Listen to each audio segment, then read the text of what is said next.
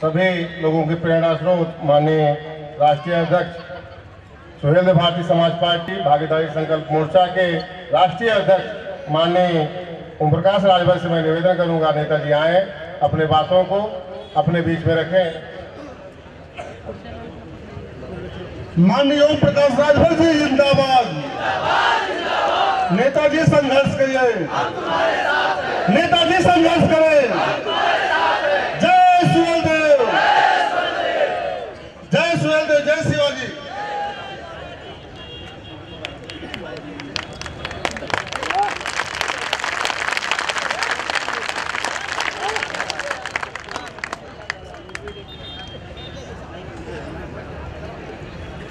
आज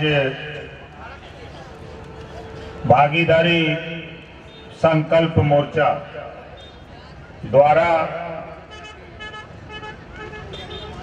महाराजा सुहेल देव जी, महाराजा शिवाजी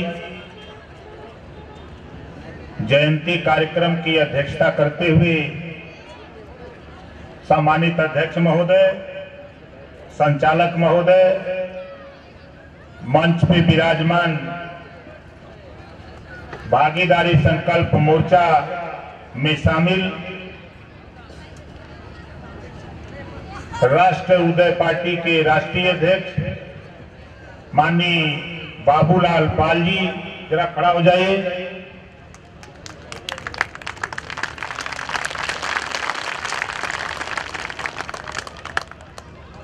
ताली तो ऐसे बजौला जैसे मनकनका पर मुर्दा बजावला।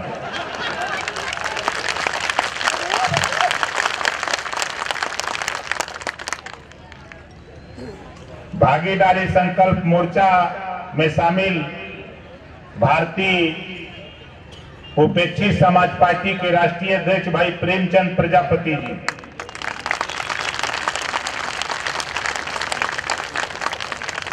और मंच पे बैठे हुए नेतागण,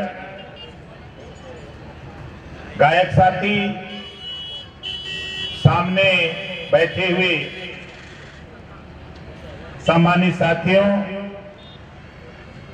माता और बहनों,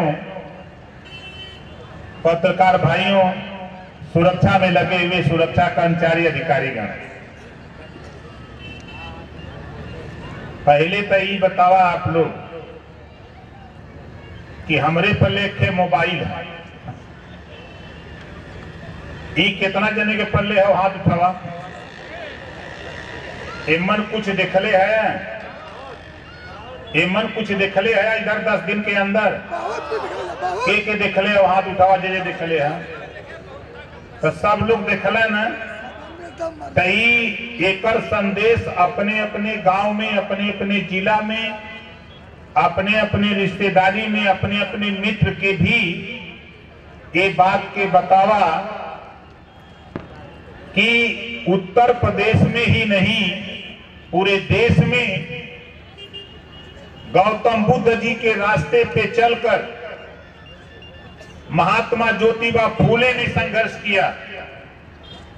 महात्मा ज्योतिबा फूले जी के संघर्ष पे चलकर महाराजा सुहेल देव जी ने संघर्ष किया। उसी रास्ते पे चलकर बाबा साहब डॉक्टर अंबेडकर जी ने संघर्ष किया। ये संघर्ष क्या किया? समता, स्वतंत्रता, बंधुत्व और न्याय की लड़ाई। लड़ने का काम गौतम बुद्ध जी ने किया। आज आपके भागीदारी मोर्चा में माननीय बाबू सिंह कुशवाहा पूर्व मंत्री, उनकी party, Manav Samaj party, Premchand Ramdhani Bind ji, Ramkaran Kashyap,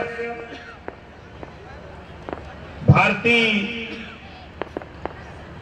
Vanchit Samaj party. Krishna Patel, अपना दल।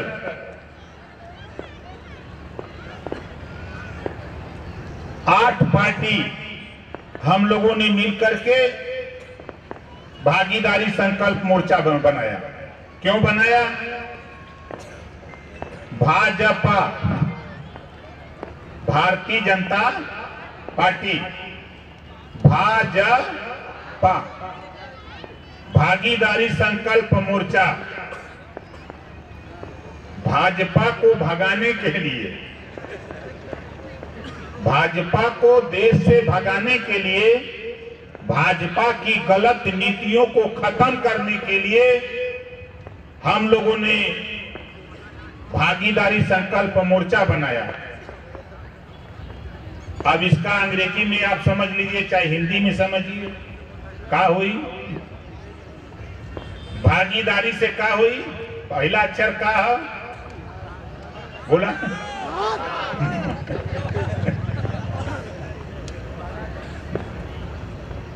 भ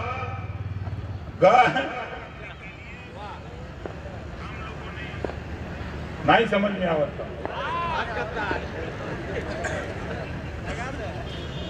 भाजपा को भसम करने के लिए।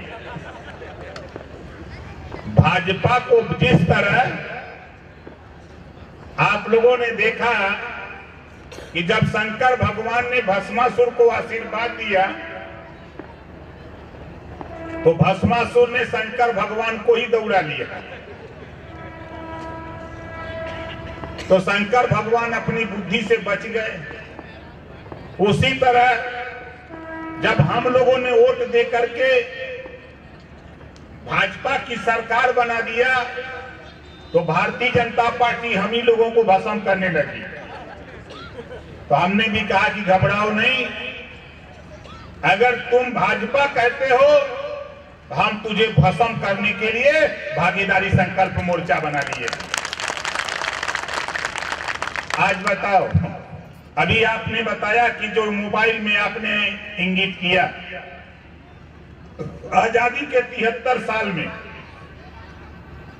किसी नेता की माँ ने दूध नहीं पिलाया था, जो सदन के अंदर जो आपने मोबाइल पे अपने देखा है और सुना, तीन सौ निन्यानवे विधायक एक तरफ़ होते थे और भागीदारी संकल्प मोर्चा के चार विधायक देव भारतीय समाज पार्टी के एक तरफ़। और अकेले अकेले सदन में ओम प्रकाश राजभर यूपी में सीएम से लेके मिनिस्टर तक सबको समझा दिया कि देखो, ये शिवाजी महाराज, ये गौतम बुद्ध जी महात्मा ज्योतिबा फूले, सावित्रीबाई फूले, महाराजा सुहेल देव जी बाबा साहब डॉक्टर अंबेडकर के विचारों पे चलने वाला नेता लखनऊ की पंचायत में आया है। दुनिया लड़े चाहे ना लड़े, ओम प्रकाश राजभर सदन में लड़ करके दिखा दूँगा। तो बताओ, लड़ाई लड़ा गया कि नहीं लड़ा गया?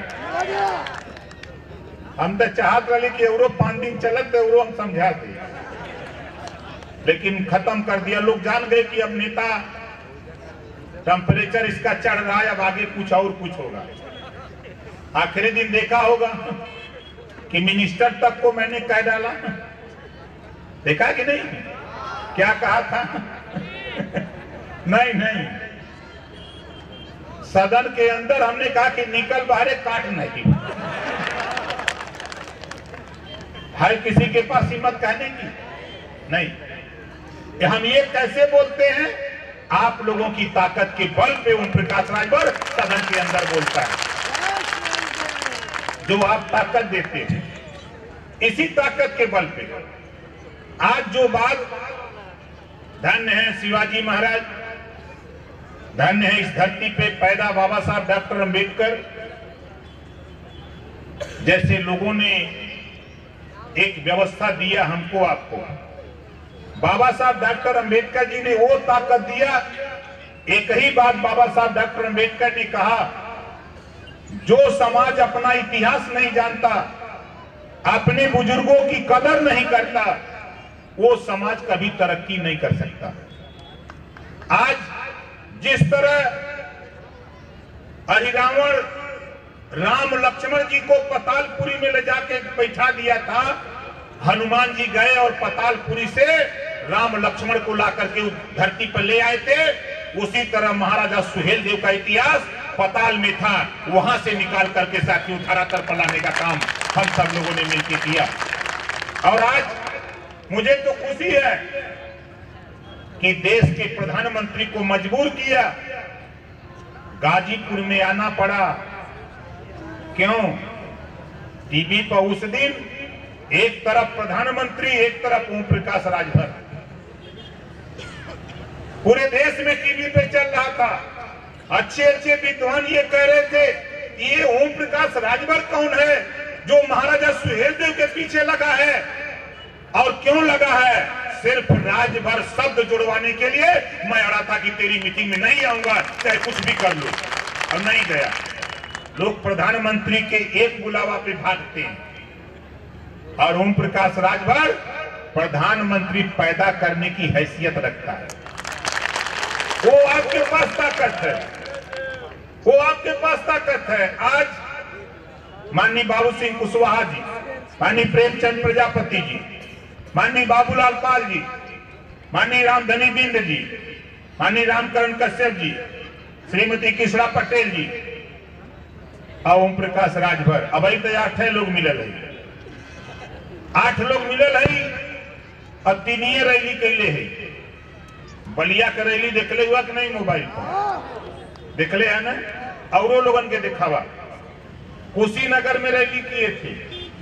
उसको देखा होगा? आपने अभी गाजीपुर में किया था।